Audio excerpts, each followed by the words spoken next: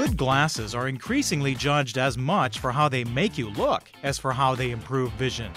A trend illustrated by the eye catching exhibits at the 20th HKTDC Hong Kong Optical Fair, which attracted a record 620 exhibitors from 22 countries and regions.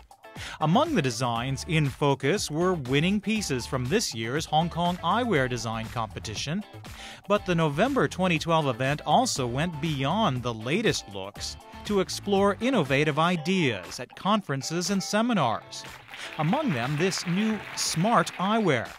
Developed by PixelOptics from the United States, they use an invisible layer of liquid crystals that electronically change offering a wider field of vision than conventional bifocal or progressive lenses. You can turn the microaccelerometer on. It knows when you're looking down, it turns on the reading. It knows when you're looking up and it turns it off. So these are glasses that help adapt the eyewear to your needs rather than you always having to adapt to the eyewear itself. You have a capacitive surface, you have electronics, you have an induction charger and you have an ability to see things in ways that you can't do with a regular mechanical pair of glasses. So in many ways it is like having smart eyewear that will continue to get better as we go through each new generation. But the company is also well aware that their smart glasses must also look smart. And one of the biggest challenges over the 10 year development phase was finding ways to make electronic filled frames look fashionable. People aren't going to wear glasses if they look geeky or look uncomfortable. But at the same token, if you can provide advanced electronics and eyewear and vision that you can't get with a regular pair of glasses, it's kind of a win-win situation.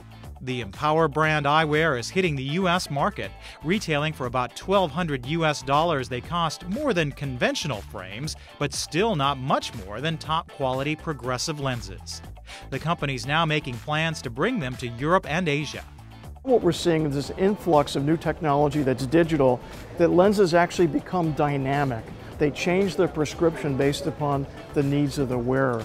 So my idea of coming to Hong Kong this year was to help introduce the idea of digital technology, not in digital lens design like freeform, but actually dynamic digital lenses that actually change prescription at the touch of the side of the temple.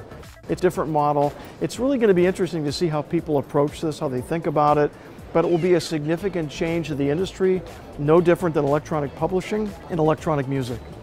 So for me, it was a real treat to come here and to share these ideas. I, I always like to say that I have one foot planted firmly in the present and one foot firmly planted in the future. And if I can share that vision with others, it gets them thinking about what's coming next. What can I help get prepared for when this new technology comes to my area of the world?